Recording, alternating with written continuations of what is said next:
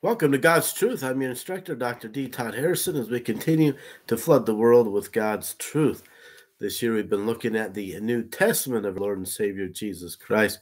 Today we'll be looking at 1st and 2nd Peter, that great apostle Peter.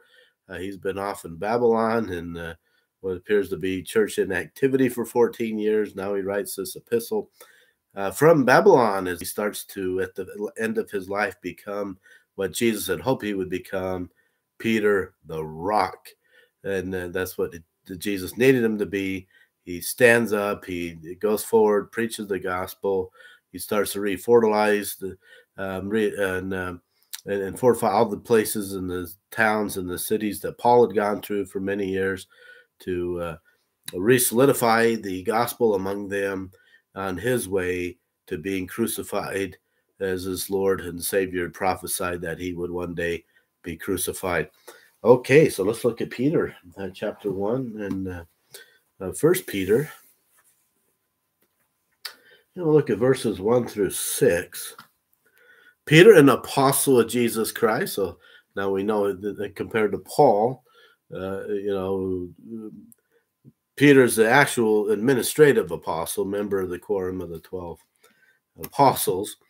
Uh, remember, the, Paul had admitted he did not hold any kind of uh, position at all within the church, but he called himself an apostle as one having been sent forward uh, by Jesus Christ to preach the gospel.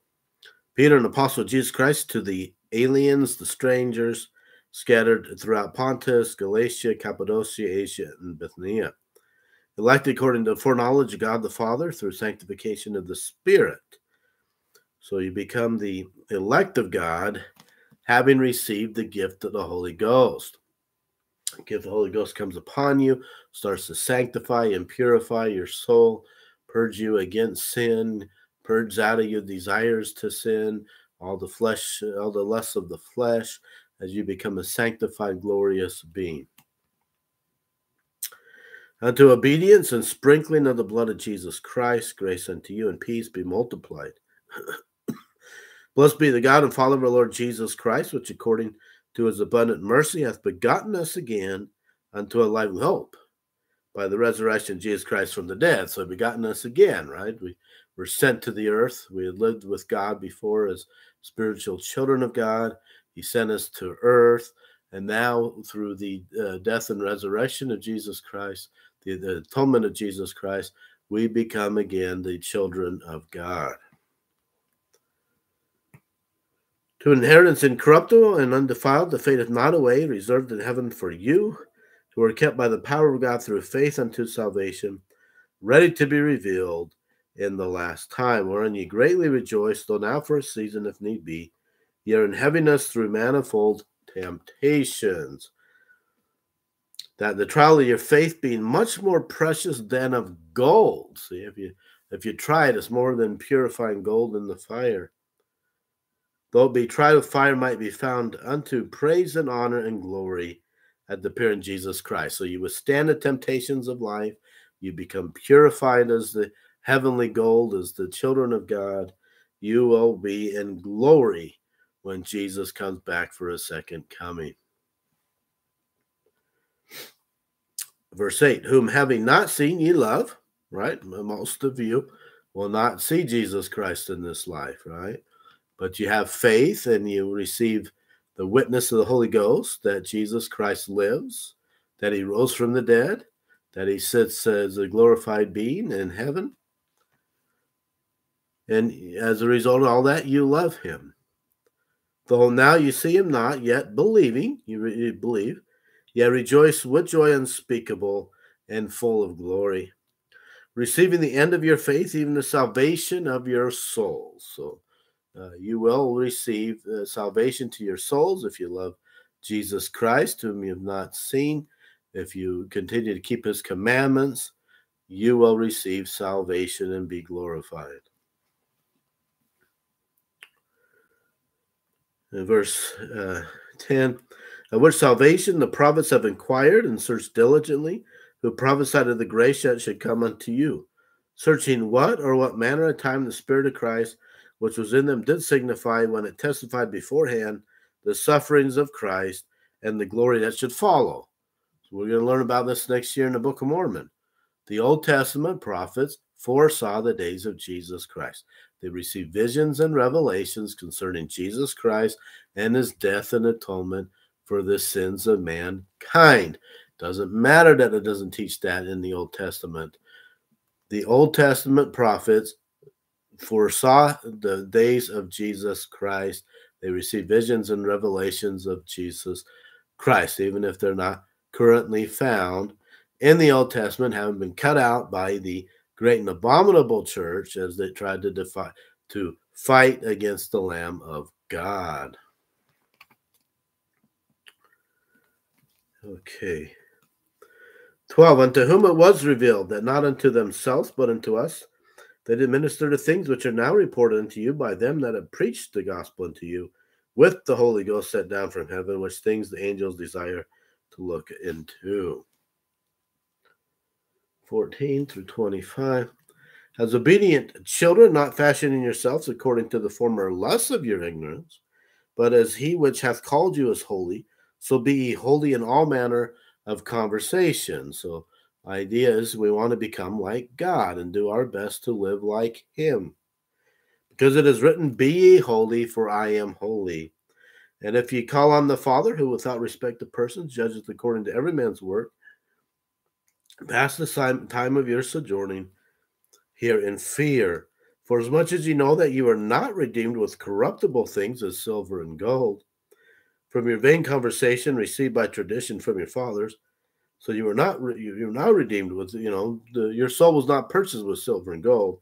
It was purchased at 19 with the precious blood of Jesus Christ, as a lamb without blemish and without spot.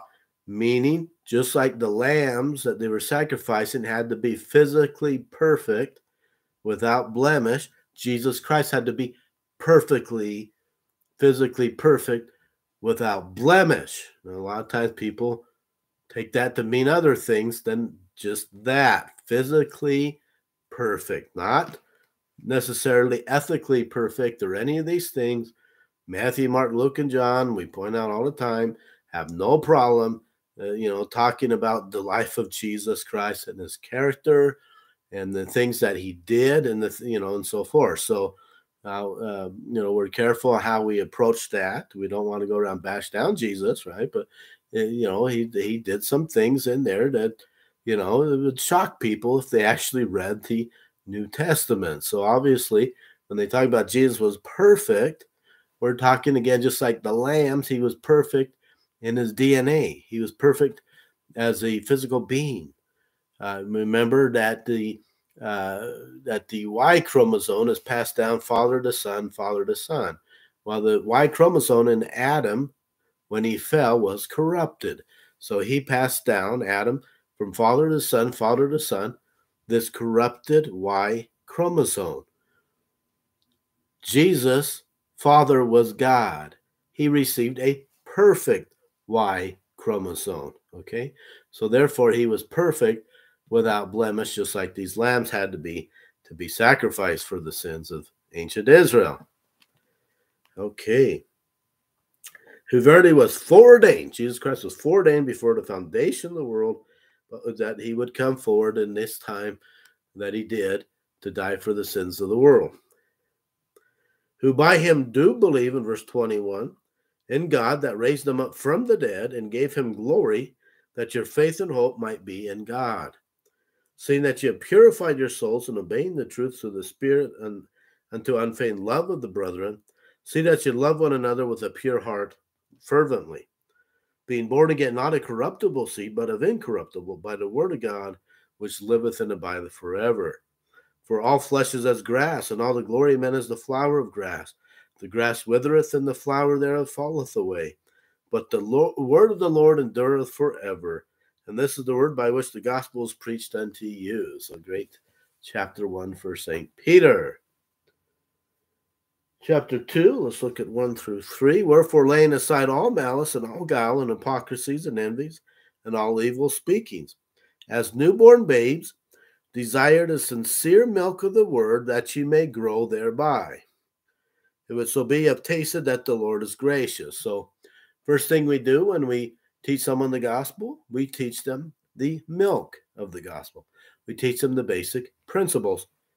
Not so we can end it at that and the rest of their life they just be taught the basic principles of the gospel so that later on when every wind of false doctrine is tossed their way then they get tossed aside right? But that's the starting point as he says here that they may grow thereby. Lay that solid foundation of the basic principles. Then you expect them to gain greater knowledge and greater theological insight.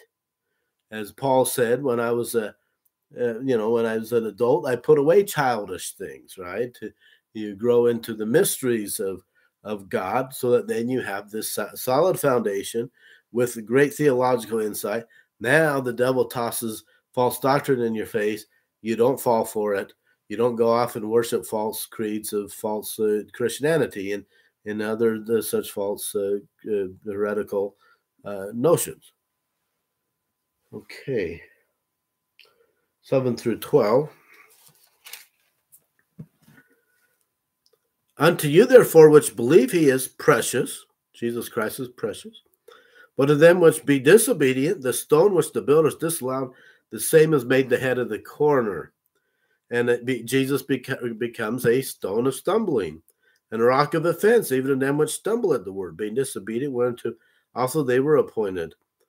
But ye, the members of the church, are a chosen generation, a royal priesthood, a holy nation, a peculiar people, that he should show forth the praises of him who hath called you out of darkness into his marvelous light. And we'll look at uh, 23 through 25.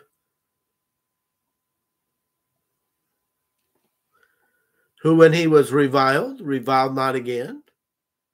When he suffered, he threatened not. When they beat him up at the trial and spit in his face and punched him, he did not uh, turn back and, and you know take those guys out. Right? He at one point threatened, "I could call down ten legions of angels right now." Right?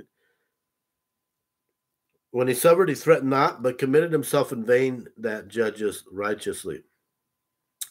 Who his own self bare our sins in his own body on the tree, that we being dead to sins should live unto righteousness by whose stripes ye were healed. For ye were as sheep going astray, but now ye return unto the shepherd and bishop of your souls. The true bishop is Jesus Christ, as people serve in the capacity and in the ministry calling as being a bishop. You are to serve as Jesus Christ did, right? You are representing Jesus Christ, the great bishop and shepherd of your souls. Chapter 3, we'll look at 8 through 12. Finally, be ye all of one mind, having compassion one of another. Love as brethren, be pitiful, be courteous, not rendering evil for evil or railing for railing, right? Old Testament law, an eye for an eye, a tooth for a tooth. You know, if somebody hits you, you hit them back, right? But he's saying, you know, let's learn not to do that. Let's learn to be more forgiving of others. Let's learn to be like Jesus and just, you know, suffer it and and not render back to them. Right? Because why?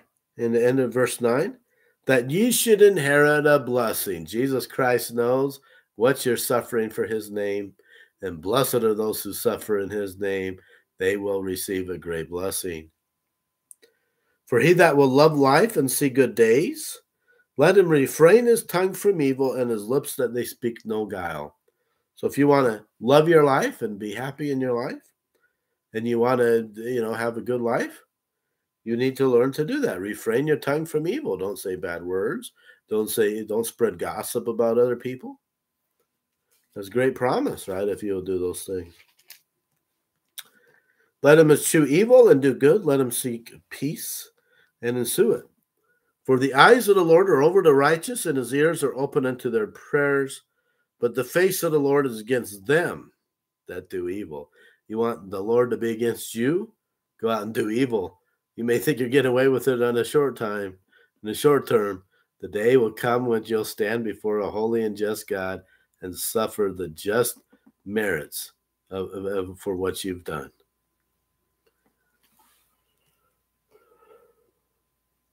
Uh, we'll look now at um, 15 through 22. But sanctify the Lord God in your hearts, and be ready always to give an answer to every man that asketh you a reason of the hope that is in you with meekness and fear. That's why we need to study the gospel and read the scriptures every day so we're prepared. If someone asks you a question about the gospel, you should be able to answer it. Having a good conscience, that whereas they speak evil of you as of evildoers, they may be ashamed that falsely accuse your good conversation in Christ. For it is better if the will of God be so that you that you suffer for well doing than for evil doing. Isn't it better to suffer, you know, because you were living a righteous life than to suffer for doing bad things? For Christ also has once suffered for sins, the just for the unjust, that he might bring us to God, being put to death in the flesh, but quickened by the Spirit. By which he also went and preached unto the spirits in prison. Here we go, guys. Again, we ask the question which church is the only church in all the world who actually believes in the Bible?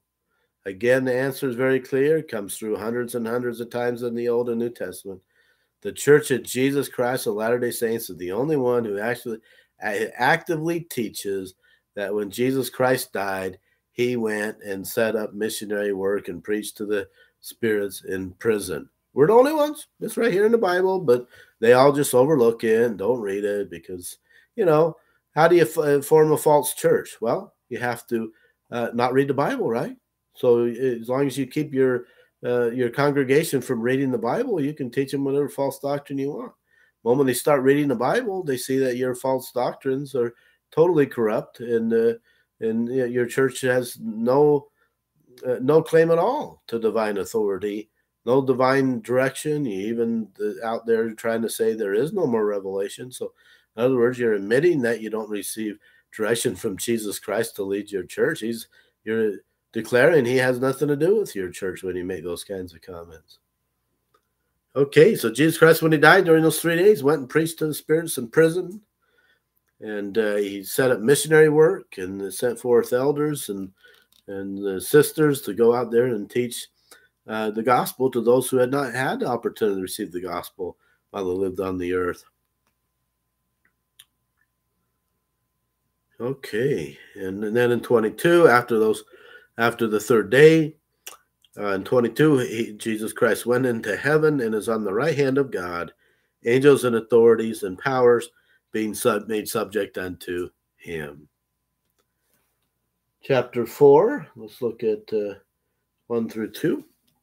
For as much then as Christ has suffered for us in the flesh, arm yourselves likewise with the same mind for he that has suffered in the flesh has ceased from sin. So even if they kill you, hey, be, be happy. You, you've ceased from sin, right? You can't sin now. That he no longer should live the rest of his time in the flesh to the lust of man, but to the will of God.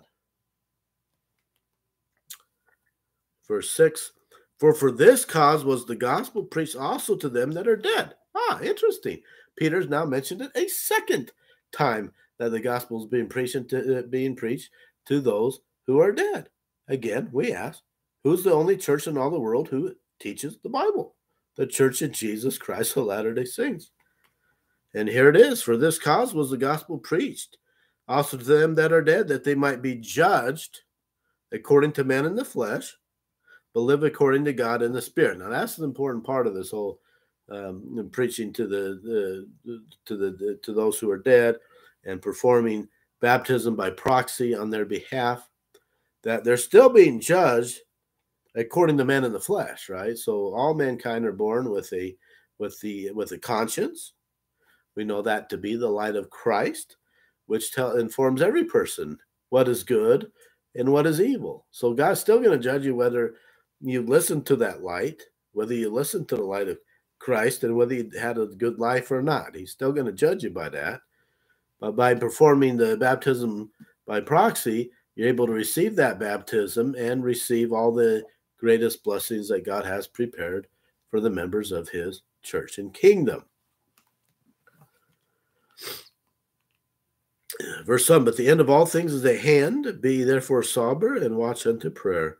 Above all things, have fervent charity among yourselves, for charity shall cover the multitude of sins. If you learn to love one another and have love that will cover a lot of he'll forgive you of a lot of your sins use hospitality one to another without grudging as every man hath received the gift even so minister the same one to another as good stewards of the manifold grace of god if any man speak let him speak as the oracles of god right when you preach the gospel or pretend to preach the gospel you don't just say what you what's on your mind what you would like to say about it to you know, uh, the topics that you want to teach. No, you teach what God wants you to uh, to say. You uh, talk like he says here as the oracles of God. You speak Uh, when you talk about the gospel. You should be preaching according to the spirit of prophecy, the spirit of revelation, allowing God to speak through you to the people that you're addressing, so that they know they have heard the oracles of God. If any man minister, let him do it as of the ability which God giveth, so that God in all things may be glorified through Jesus Christ, to whom be praise and dominion forever and ever. Amen. Beloved, think it not strange concerning the fiery trial which is to try you, as though some strange happened to you. Don't think it's strange if some if you go through some terrible trial. Jesus Christ said you will have trials in this life but you shall have peace through him. Beloved, um, 13, but rejoice inasmuch as as you're partakers of Christ's sufferings, that when his glory should be revealed, ye may be glad also with exceeding joy. If ye be reproached for the name of Christ, happy are ye, for the Spirit of glory and of God resteth upon you. On their part he is evil spoken of, but on your part he is glorified. But let none of you suffer as a murderer or as a thief or as an evildoer, as a busybody in other men's matters. Yet if any man suffer as a Christian, let him not be ashamed, but let him glorify God on his behalf. For the time has come that judgment must begin at the house of God. And if it first begin at us, what shall the end of be of them that don't even obey the gospel of God? So he's foretelling uh, a day in which there will be judgments poured out upon the church of Jesus Christ of Latter day Saints. His church, his church. He will begin there. Prior to the second coming, he will pour out his judgments upon the wicked members of the church of Jesus Christ of Latter day Saints. Today, we continue to see more and more members of his church depart from his ways and live a wicked life those will be judged first. Those will receive the just deserts of their misconduct.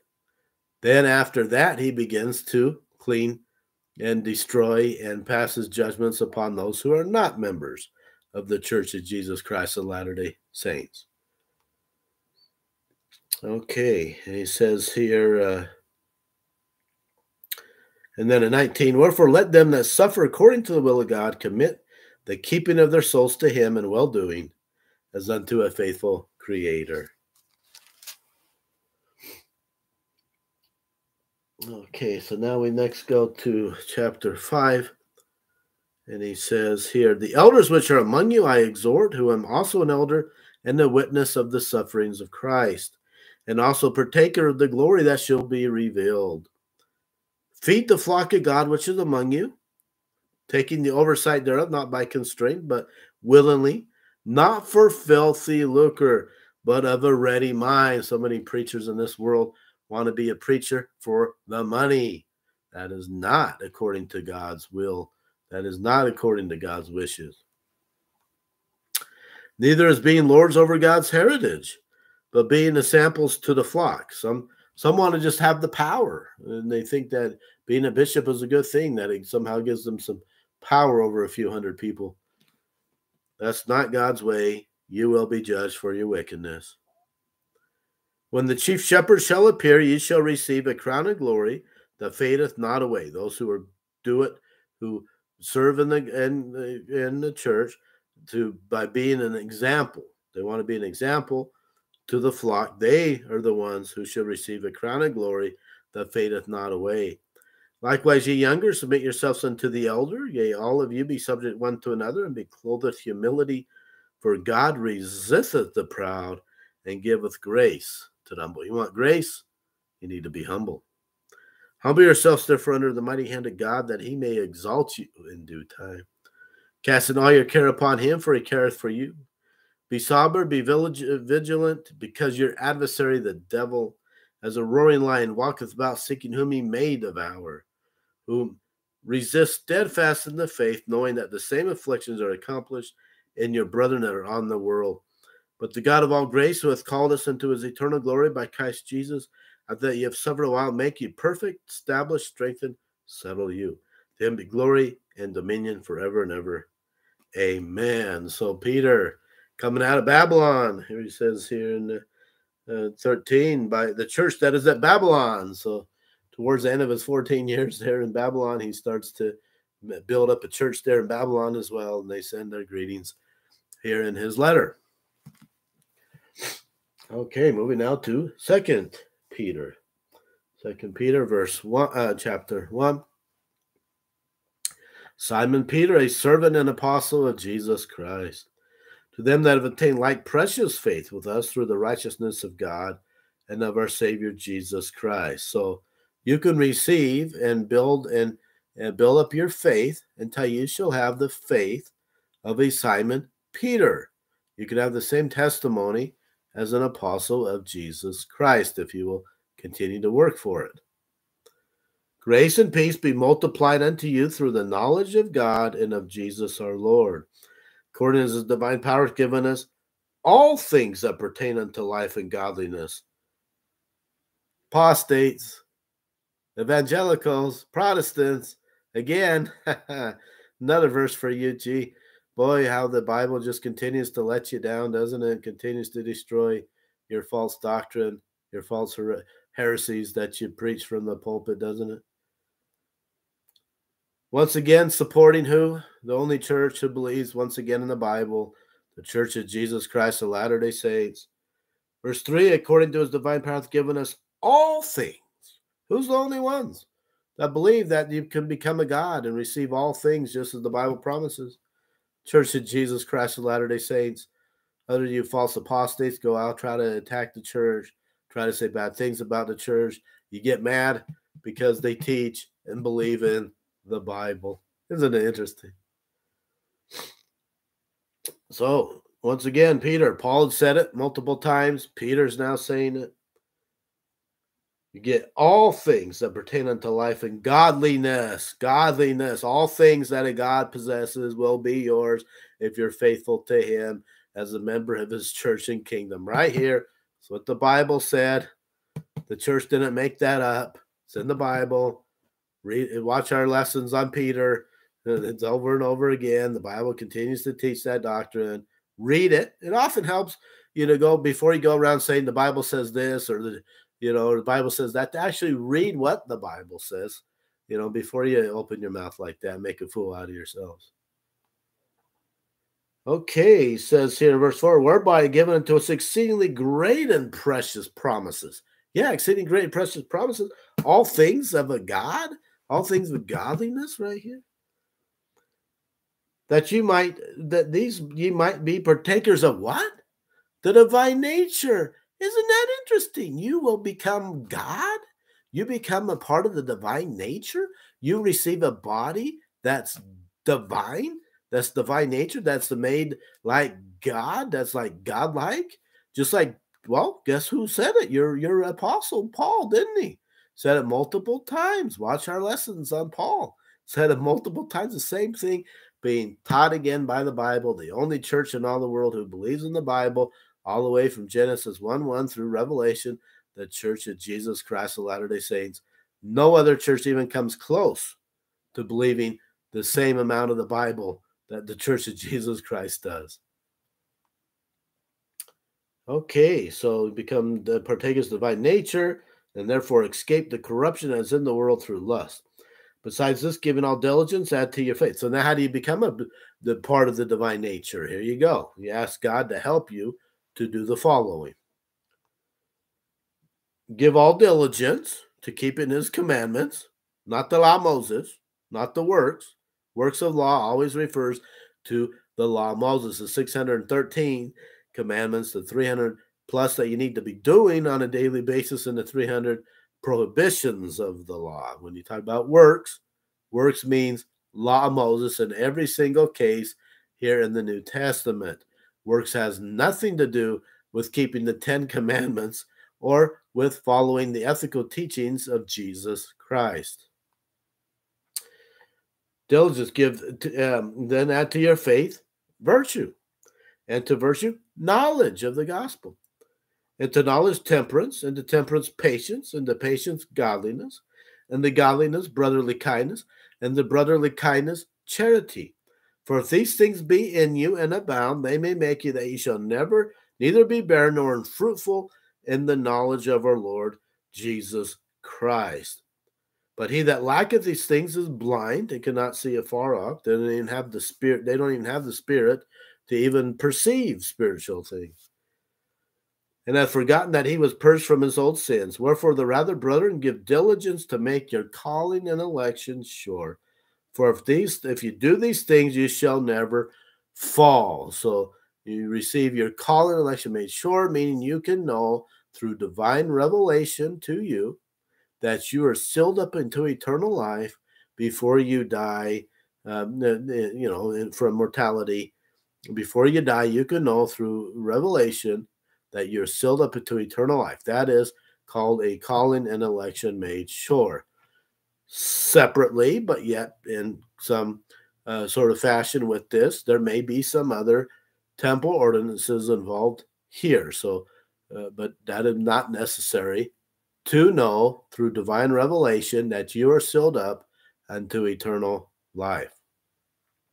Once you're sealed up to eternal life, you can receive Jesus Christ Himself to be your comforter. No longer is it necessary to have the Holy Ghost as your comforter. You can have Jesus appear to you from time to time to be your comforter. That's why He says here that if these things will uh, be in you, they shall make that you shall neither be barren nor fruitful in the knowledge of the Lord Jesus Christ. You'll be proven your knowledge of Jesus Christ, for you will for you will, if you have the faith after receiving a call, I should make sure, if you have the faith, you can receive the second comforter to have Jesus appear to you from time to time. Therefore, that's what he's talking about here in verse 8. You should not be barren or unfruitful in the knowledge of the Lord Jesus Christ. One of the sad things is those who have received their call election made sure, but don't have the faith to take it a step further and receive the second comforter. That's sad in those cases. Can you see Jesus Christ? Also, another question often arises: Can you see Jesus Christ without receiving, without receiving a second comforter? The answer is absolutely yes. You can see Jesus Christ without receiving a second comforter. The second comforter simply means that then Jesus will appear to you from time to time, multiple appearances um, after that stage. Okay. All right, let's continue on here then. And 12 through 14. 12 through 14. Wherefore I will not be negligent to put you always in remembrance of these things, though you know them, and be established in the present truth. Yeah, I think it mean as long as I am in the tabernacle to stir you up by putting you in remembrance knowing that surely I, may, I must put off this ta- my tabernacle, even as the Lord Jesus Christ has, has showed me. I will be crucified as Jesus prophesied of me. Moreover, I endeavor that you may be able after my decease to have these things always in remembrance. Okay, and then 20 through, let's see, uh, 16. Here we go. Here's his testimony. For we have not followed cunningly devised fables, where when we made known unto you the power and coming of our Lord Jesus Christ, but we're eyewitnesses of his majesty.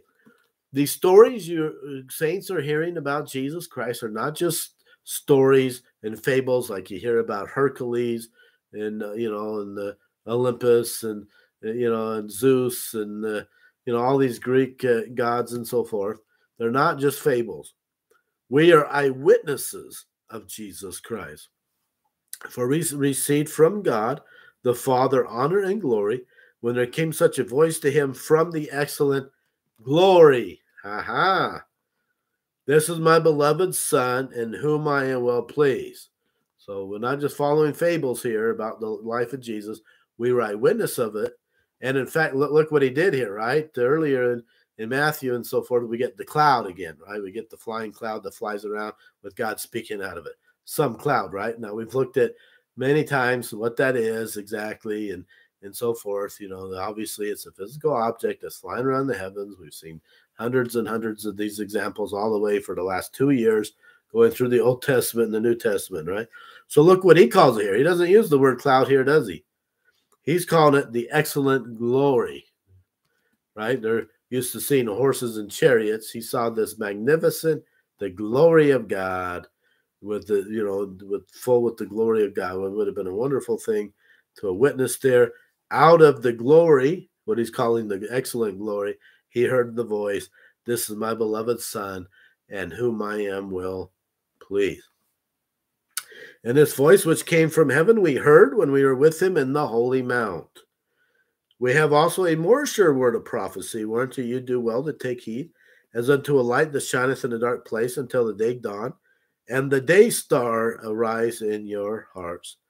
Knowing this first, that no prophecy of the scripture is of any private interpretation. For the prophecy came not in old time by the will of man, but holy men of God spake as they were moved by the Holy Ghost. Therefore, you cannot just sit down and interpret uh, what the scriptures mean unless you have the same spirit of prophecy and are moved upon by the Holy Ghost. If you're moved upon by the Holy Ghost, now the prophecy of scriptures unveils itself, and now you understand the scriptures. Chapter 2, 1 through 9. And here we go again, a witness of the apostasy of the first century uh, Christian church, that it did come into apostasy as the prophets had testified would happen. Chapter 2, verse 1. But there were false prophets also among the people. So here you have Peter, the eyewitness, testify that there were false prophets among the church teaching false things. That's the beginning of the apostasy. The church goes into apostasy for nearly 2,000 years until God has to once again restore the truth, the truth of his church when he does it in 1830s with the prophet Joseph Smith. But there were false prophets also among the people, even as there shall be false teachers among you. Not only were there false prophets, you shall also have false teachers among you. Once they start saying, once your false religious leaders start telling you there are no more prophets in, in these days, now they become false teachers, right? They call themselves teachers now. So now they're false teachers. Exactly what, what we what Peter just prophesied, we've seen in the history of Christianity.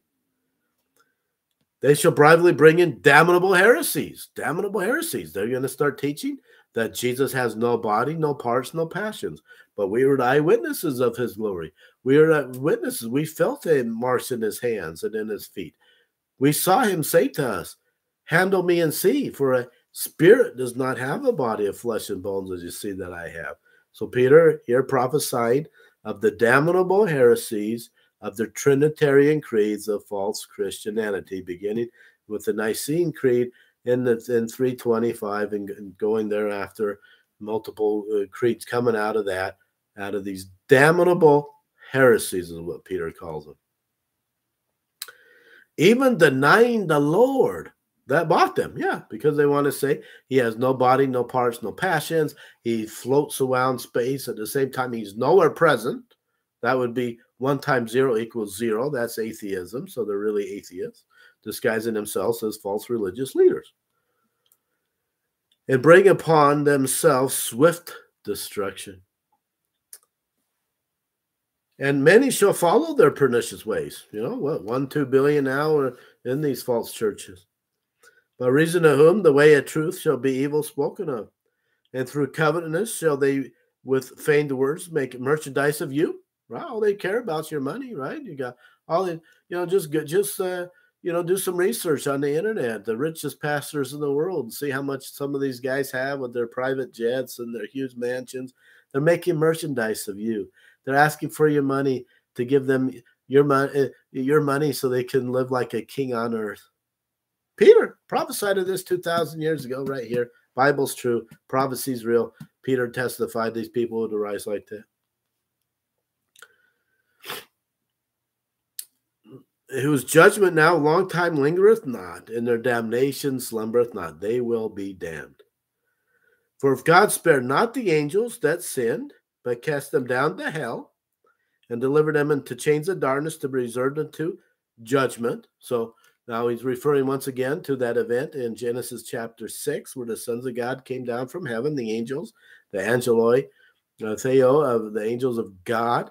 They came down, had sexual relations with the children, with the uh, daughters of mankind, and produced giants in the land. But then God had to destroy them in the flood. Why they destroyed the world? Because you had all these uh, half, uh, you know, you had all these demigods basically running around doing all kinds of wickedness upon the earth. If he didn't spare them, he already cast them down to hell. You know, this is not the one third who were cast out of the Father's presence. We know that where they are, Peter had just said at the end of chapter one that Satan and his angels, you know, going around roaring like a lion, seeking whom they should devour, right? So that's a separate group of angels. That's not the one third. The, these guys here are not the one third. These are the 200 that came down in the book of Enoch and so forth. Enoch will mention more about it. Okay, so we continue on here. And they and God did not so he didn't spare them. He's not going to spare these false religious leaders. He didn't spare the world. He destroyed them except for Noah and his family. So he's not, you know, he's not going to spare these false uh, religious leaders preaching damnable heresies. And then he goes on about how he destroyed the cities of Sodom and Gomorrah as an example. Okay, now we'll move to 20 through 22. For if after they escaped the pollutions of the world through the knowledge of the Lord and Savior Jesus Christ. So, once again, a warning to those who have joined the church, but then fall back into wickedness. For if they have, if for if after they have escaped the pollutions of the world through the knowledge of the Lord and Savior Jesus Christ, they are again entangled therein and overcome, the latter end is worse than the beginning. They're going to receive more condemnation than if they had never joined the church. For it had been better for them not to have known the way of righteousness, not to become a member of the church, than after they have known it to turn from the holy commandment delivered unto them. But it has happened unto them according to the book of Proverbs. And he quotes here Proverbs 26 11. The dog is turned to his own vomit again, and the, so the pig that was washed to her wallowing in the mire. Okay, now we get chapter 3. The second epistle, beloved, I now write to you, in both which I stir up your pure minds by way of remembrance. that you may be mindful of the words which were spoken before by the holy prophets, and of the commandment of us, the apostles of the Lord and Savior. What should we be teaching the people when we talk to them about God? Exactly what he just said. What the prophets taught in the Old Testament, what the prophets taught, what the apostles taught in the New Testament. That's all he knew of at that time in terms of scripture. So from what he knew, Old Testament, and he got these beginning of the beginning of the New Testament, got some writings floating around that maybe he perceived would one day be form its own canon or at least be joined together with the Old Testament. Knowing this, first, that there shall come in the last day scoffers walking after their own lusts, and saying, Where is the promise of his coming, of his second coming? For since the fathers fell asleep, all things continue as they were from the beginning of the creation starting to see that uh, today more and more all the time. People come out, ah, look, Jesus isn't coming. Ah, it's just all made up. It's not true. Jesus died, and that was the end of this Jesus of Nazareth. Uh, went around being a preacher. For this they willingly are ignorant of, that by the word of God the heavens were of old, and the earth standing out of the water and in the water. So the earth was first created out of the water. Then with his judgments, it was made in the water as he flooded the world, right? Whereby the world that then was being overflowed with water perished. But the heavens and the earth, which are now, by the same word are kept in store, reserved unto fire against the day of judgment and the perdition of ungodly men. So the first time he destroyed the world by flood, second time he's going to destroy the world by fire. That's there are so many scriptures we've looked at over the last two years in the Bible with uh, coming back flying on their uh, flying obstacles, not horses. They're not really going to be Jesus and his angels. Here they come. Look, guys, look at all those flying flying horses in the sky. No, they're flying, they're coming on some sort of flying object, right? They're going to come, they're going to be shooting down missiles and stuff and destroying all the ungodly. Okay. Verse 7 But the heavens and the earth, which are now by the same order kept in store, reserved unto fire against the day of judgment, perdition of ungodly man. But beloved, be not ignorant of this one thing. So be not ignorant. So those of you think that Christ isn't coming because it's been 2,000 years, I want you to not be ignorant of this, right? Is what Peter's saying here.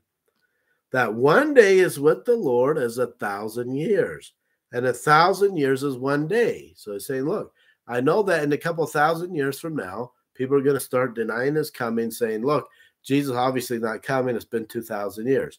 But I want you to know that each of those 1,000 years was only one day to the Lord. Jesus only been gone 2,000 years, only been gone for two days. Hasn't even completed the weekend yet.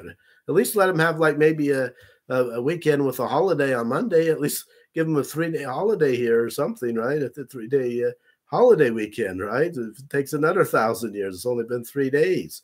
It takes 2,000 years. Only been four days, right? Give Jesus some time before he comes back to the earth.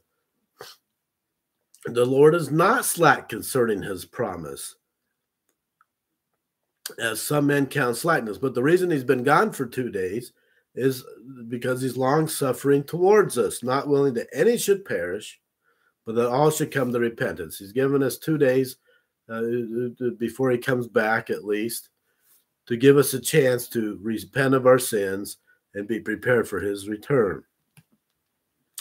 But I tell you, even with all these warnings, in verse 10, but the day of the Lord will come as a thief in the night, in the which the heavens shall pass away with great noise, and the elements shall melt with fervent heat. The earth also and the works that are therein shall be burned up. Seeing then all these things shall be dissolved, what manner of person ought you to be in our whole conversation and godliness, right? If all these things are going to happen, all this fire and destruction, should you not be doing your best to live a godly life? Looking for and hasting unto the coming of the day of God, wherein the heavens being on fire shall be dissolved, and the elements shall, melt, shall melt with fervent heat. Nevertheless, we, according to his promise, look for new heavens and a new earth, wherein dwelleth righteousness. Wherefore, beloved, seeing that you look for such things, be diligent that you may be found of him in peace, without spot, and blameless an account that the long suffering Lord of salvation, even as our beloved Paul. Here we go, here we go, right? Even as our beloved Paul also, according to the wisdom given in him, hath written unto you. So, do they know about Paul? Yes, right? So we looked at that before. Even though Paul's saying some very hurtful things about Peter and James and the 12, they are aware of his epistles, right? And here he's trying to reach agreement with Paul and say, look, some of these things, even Paul taught the same things, right? As also in all his epistles,